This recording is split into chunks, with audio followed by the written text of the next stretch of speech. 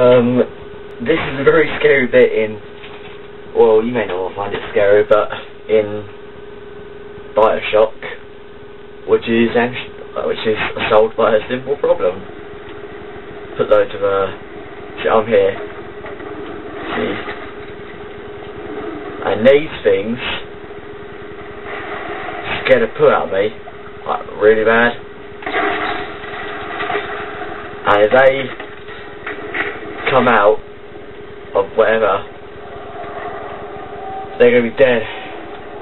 Whoa! You do not know how scary this game is sometimes. I mean, I could just be a wimp, but I am very scared of this game sometimes. Like, um, for example, I shall show you. Oh dear!